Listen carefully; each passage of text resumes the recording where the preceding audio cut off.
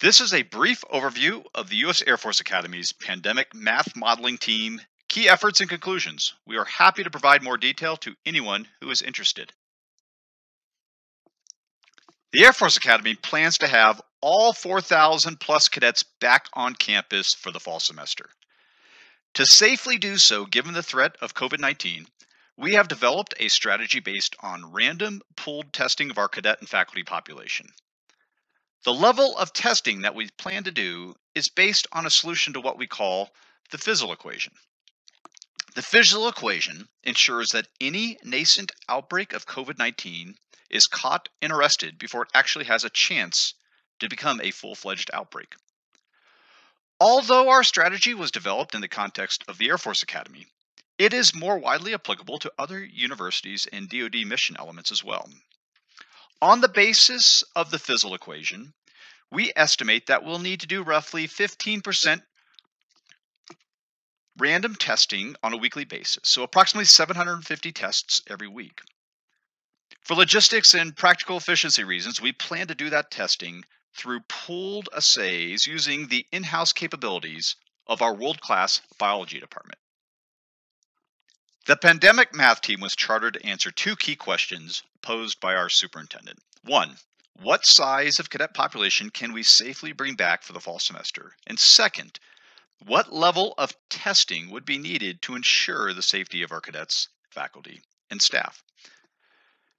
The pandemic math team is a multidisciplinary team consisting of PhDs in microbiology, virology, statistics, data science, mathematical modeling, and public health professionals. And we've been able to answer both of the two big policy questions,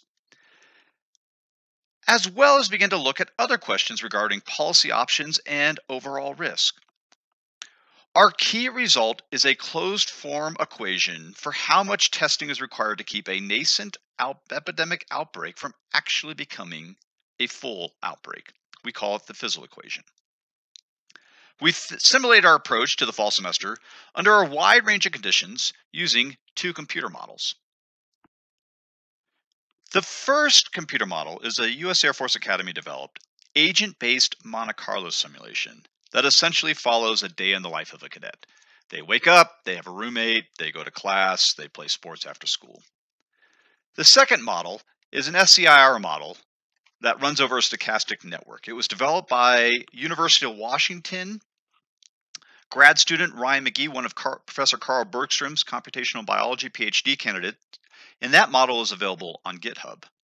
Actually, both the Monte Carlo and SEIR models are available on GitHub, and they both have similar aspects that permit us to change the size of an initial outbreak, look at the effects of outbreaks in the local community, the impact of different asymptomatic rates, and and as well as uh, estimates for expected quarantine and isolation loads that we may experience under different conditions and assumptions.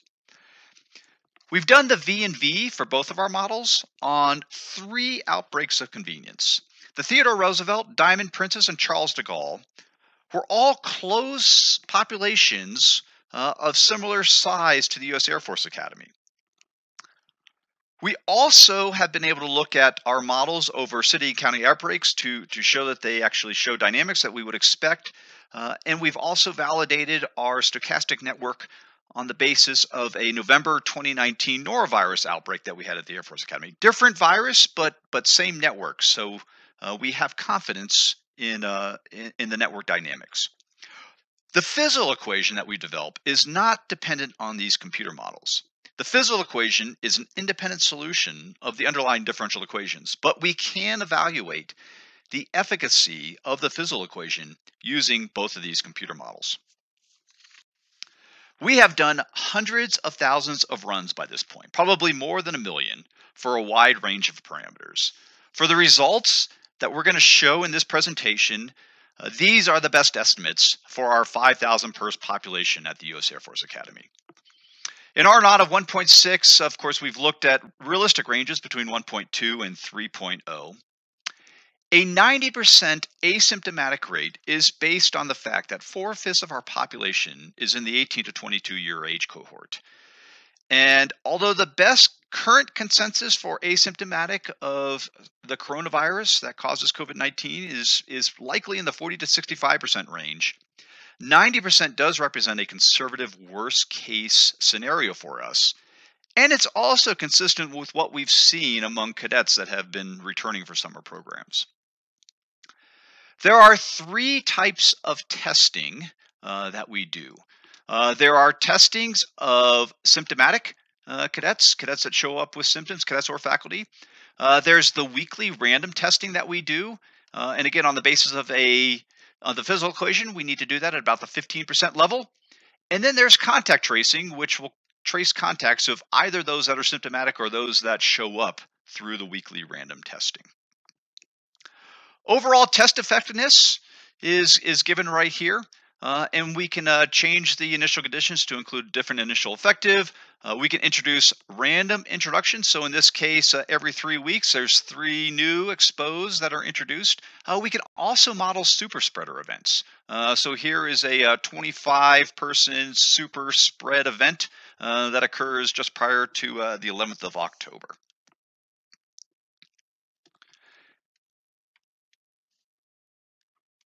This is what a typical simulation run looks like. We normally do this for 100 runs for a given set of conditions, and then we gather the statistics together into this periodic table looking thing that's, that summarizes this, the statistics. So as an example, we can look at uh, quarantine and isolation loads. Uh, we can look at the median, the 95th percentile, and the 5th percentile runs, as well as uh, how long it actually takes to, to achieve that. We can also model differential transmission between different population members. Uh, so, for example, we can evaluate the attack rate of SARS-CoV-2 for cadets uh, who have more close contacts and more interactions uh, versus faculty members uh, who happen to be in a, a uh, greater, greater proportion of our at-risk demographics. All of the statistics are, are summarized. Uh, one of the key components is uh, that contributes to the risk management is what is the probability and how many cases uh, out of 100 do the cases exceed uh, actually become an outbreak? And we have arbitrarily defined an outbreak as uh, greater than 50 active cases. And how often uh, out of those 100 runs does an outbreak remain under a peak infection of 25 active cases? In epidemiology r naught is the basic reproductive number and because it's a key element of the Fizzle equation and underlies our test strategy, it is illustrative to walk through a basic example uh, to show what, what R naught is. So an R naught of 2.0 means that each infectious individual, so if we have an index case, uh, they with each generation of the disease, they will infect two more people. Uh, so after a single generation, there are there are two infections, and then four, and it grows exponentially. In this case, after three generations, uh, there's only seven active infections because uh, node 18 here uh, only had one additional person to uh, that they could infect. Uh, and that is typical with typical outbreaks. Every outbreak will eventually fizzle on its own when the population of susceptible individuals is exhausted. Now you can you can help accelerate that uh, if you can somehow remove a certain number of infections uh, from the population. So if you somehow remove only half of the new infections in each generation, the effective reproductive number is one. And after three generations, the uh, there's nobody left here for node 18 to infect, and and the outbreak, the epidemic fizzles out. So, the first step in a comprehensive pandemic strategy is to do the basic policy things that are straightforward the emphasis on hygiene, the cleaning, the social spacing. SARS CoV 2 in the wild uh, has an R naught somewhere between 2 and 4.5. Uh, for environments with dense populations in which social distancing is difficult, so think the uh, aircraft carriers and the Diamond Princess cruise ship, um, it, it may be higher, and, and that bears out. Uh, in March, before we took the uh, the measures, uh, so here's two two population centers, uh, the estimates for the reproductive number, New York City back in March and Seattle back in March. The CDC and their guidance to modelers uh, issued uh, recommends a uh, R naught between two and three, with a mean of 2.5, and that's before any additional policy measures are taken. Just knowing that there's a virus and being aware and taking those upfront precautionary measures, those easy things that are to do, uh, has an effect. Uh, so hand washing and hygiene and masks, we can see, you know, in this case, it was actually after lockdowns were put in place in both New York City and Seattle. Uh, but you can see the reduction in the reproductive number uh, from what it was just a month earlier. So at the Air Force Academy, we can control things like how many cadets are sitting in a classroom, how many roommates they have, and the general mixing of the population. On an Air Force base, a wing commander can control uh, the work shifts or telework requirements uh, in order to reduce the density of folks in, in common areas. In both cases, we can mandate the basic hygiene and mask wearing that now appears to be very effective at reducing transmission uh, to a certain degree. At the Air Force Academy, we estimate that with 15% remote classes, so we will have the entire cadet population back, uh, but half of the classes they will be attending from their, their dorm room. Um, with all of these, uh, with all the upfront policy measures and 50% uh, remote classes, we estimate as an upper bound an R naught of 1.6 in the U.S. Air Force Academy environment. Once you have an estimate for the R naught, uh, now you can come into the Fizzle equation. So this is the Fizzle equation. This is the R naught. These are test parameters. This is the duration of the illness. This is the test effectiveness. And then these are all the different test parameters and test ratios. So we think we'll be able to do between 10% and 20% effective contact tracing at the Air Force Academy. Now that may sound low, but this is a dormitory setting. It's a university setting with dormitory environment.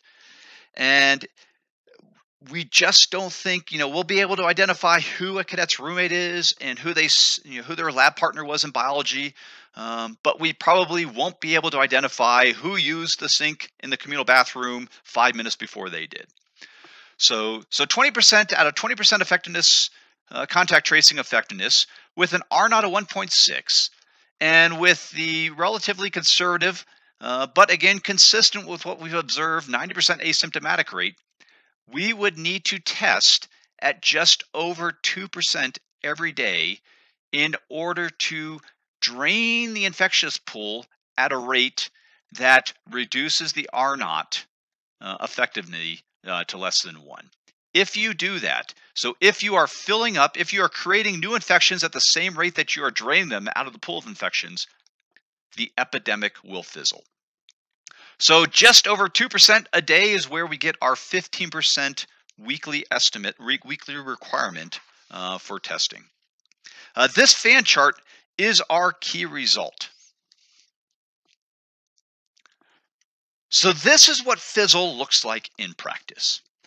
In the absence of any surveillance testing, where you can only rely on a small percentage of symptomatic cadets showing up and whatever contacts you might be able to trace from them, this is what you might expect. So with a, an R naught of 1.6, uh, in this in this simulation, we're introducing a new randomly exposed uh, new infectious individual every three weeks. Uh, we can expect a median peak infection close to 100 with uh, with extremes up to 133. And in almost all cases, uh, we actually get an outbreak. Uh, again, as defined, greater than 50 infections. Random testing, though, gives you a key signal. Uh, so in the absence of doing any testing, you're just flying blind, um, waiting for sick people to, to show up. But with random testing, we've now got a finger on our pulse. So this is what 15% random testing looks like. Uh, this is a fifth percentile. This is the 25th percentile run, 50th, 75th, and then the, the worst case, uh, 95th percentile run, all for the same conditions. Uh, what and you can see we've gone from a from a situation where we have a, a median infection around 100, and we've knocked that down to under 20. And in only 4% of the cases do we actually have what we would consider an outbreak at the Air Force Academy. Uh, so, so this is a, a key signal. uh, you don't at, at 15% testing, uh, we don't eradicate uh, the transmission. It, it, might it might burble along at a very low level here, but you're catching it with that signal. Uh, there's another key attribute uh, and key contribution to, from doing this testing, particularly when you have a high asymptomatic rate. So let's consider a scenario where the R naught is not 1.6 uh, as we supposed. Let's say that the R naught was actually 2.2. And then in addition, we have a super shutter event here in mid-October where a single person infects over 20 people. In the if we weren't doing any testing, uh, this is what would happen. We could expect a median or the, the median peak infection is over 250 uh, with extremes in excess of 300. So we have no kidding true outbreaks here. Uh, and in fact, in every single in every single run, uh, we get an outbreak uh, under these scenarios. But with 15% weekly testing, in only three to four weeks, we now realize that we have a problem. Uh, our R naught is actually much greater. You can back out an estimate uh, based on the signal, uh, that 15% signal that you're doing, uh, and you realize that your R naught is, is actually probably much greater than 1.6, and you can respond to that. In this case, the policy option, the response option, is that we triple the testing. We go from 15% weekly testing to 45% weekly testing uh, for the periods that are here in gray. And in only five to six weeks, we have knocked down that infection and actually kept it under control in in all cases. So rather than an X, you know, 250 to 300 cases, uh, we still have a significant outbreak um, of of close to 90, uh, but it is well controlled, and we've not become the next uncontrolled Theodore Roosevelt. So the key point here is that random testing does a couple things. One, uh, if you've got all the estimates right, it, it helps you just keep keep the pop keep uh, any type of uh, infection that might underlying infection going on at a very very low burble. Uh, in the event that you've got it wrong, though, uh, that that surveillance testing gives you a signal of what might be happening and gives you options to respond before it becomes too late and to keep things again under control. We wouldn't be able to accomplish the level of testing that we plan to do if we didn't have the in house world class biology laboratory that we do. Uh, they've got the capability of using reverse transcription polymerase chain reaction to identify the specific RNA associated with SARS CoV 2 coronavirus. Uh, the Department of Biology was also one of the first groups uh, that was able to really articulate the power of pooled testing uh, pool testing is essential to our testing strategy. Essentially, what we do is in each of these wells, uh, we can put eight to nine individual samples. And then in one pass through the thermocycler, uh, we're able to do 720 to 750 actual tests. And then if well if well 3 alpha here pops positive, well then you still have leftover sample that you can send those off and you get can determine well which of the 8 to 9 individuals in that particular well was the was the positive sample and then put them into isolation. Uh, this pool testing is essential. It lets us achieve a level of testing, that 15% level of testing that we need to do. And it's also a very effective and efficient way of of, re, of minimizing the use of, of critical testing materials. Uh, so essentially, you, you do 750 tests here, uh, but only using the reagents uh, that you would need through a single pass through the, uh, uh, the thermocycler here. Uh, so it's both efficient and a very, very good stewardship and use of limited test resources. So we're very excited to have all of our cadets back at the Academy this fall, and we're certain that we'll be able to do so with the health and safety of our cadets, faculty, and staff as a top priority. Surveillance testing is, is going to be the key enabler that permits us to do so. Uh, the Fizzle equation is is is underlies the the level of surveillance testing that we're planning, and we're happy to share more details of the Fizzle equation and its application to anyone who is facing similar challenges.